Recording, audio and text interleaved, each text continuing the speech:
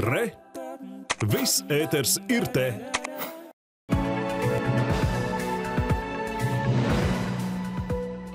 Завтра в Латвии усилится влияние циклона, что принесет больше осадков. Ожидается также гроза. Ночью количество облаков будет небольшим и переменчивым.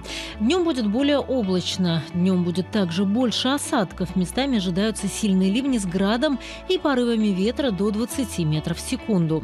Главным образом будет дуть умеренный ветер с запада. Минимальная температура воздуха ночью составит плюс 9, плюс 13 градусов. На побережье плюс 16. Днем воздух прогреется до плюс 16, плюс 20. В Риге завтра временами будет идти дождь, возможно, грозовые ливни. Температура воздуха ночью опустится до плюс 13 градусов. Днем температура воздуха не поднимется выше плюс 19. Скорость порывов западного северо-западного ветра увеличится до 17 метров в секунду.